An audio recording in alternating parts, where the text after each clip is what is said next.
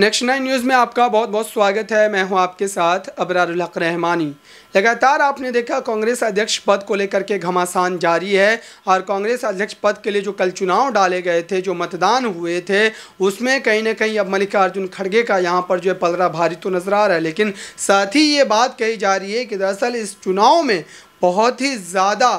तादाद में जो है क्रॉस वोटिंग हुई है और उस क्रॉस वोटिंग के बदौलत अब हो सकता है कि शशि थरूर की दावेदारी यहाँ पर आगे बढ़ सकती है और शशि थरूर कल जब इस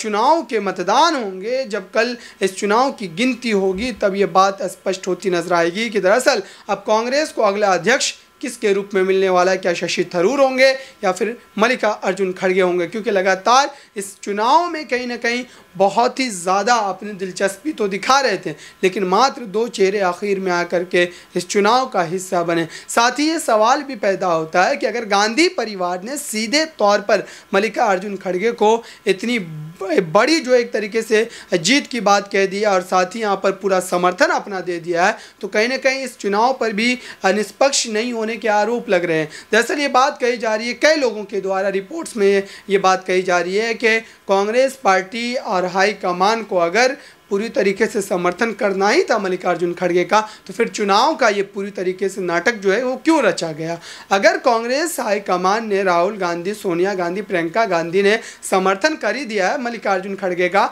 तो ज़ाहिर सी बात है कि जो इर्द गिर्द फिरते हुए नेता होते हैं, जो लगातार अपने नंबरों को बढ़ाने के लिए चापलूसी करते हैं, ज़ाहिर सी बात है कि वो नेता मल्लिकार्जुन खड़गे के ही समर्थन में अपने मतों का इस्तेमाल करेंगे। तो ऐसे में शशि थरूर की दावेदारी तो वैसे ही कमज़ोर पड़ गई तो क्या ये सिर्फ़ सिर्फ़ जनता की आँखों में धूल झोंकने का एक फॉर्मूला बनाया गया, एक रास्ता इख्तियार किया गया है। देखते हैं कल क्या होता है, क्योंकि इस समय जिस तरीके की खबरें आ रही है, उससे यही लगता है कि